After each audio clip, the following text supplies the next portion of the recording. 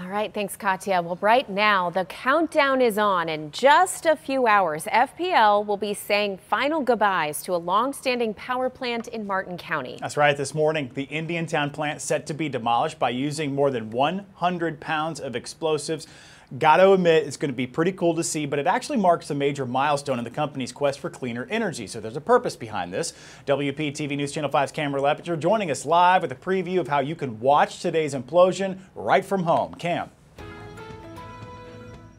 Well, Mike, these assignments are always fun and exciting because this is something you typically don't see every day. A nearly 500 feet tall structure blown up and coming down in a matter of seconds. Now, just to give you some background, uh, this plant was built back in the 90s and has been used as an energy source for more than 20 years. Now, it's known as the last coal-powered plant here in Florida.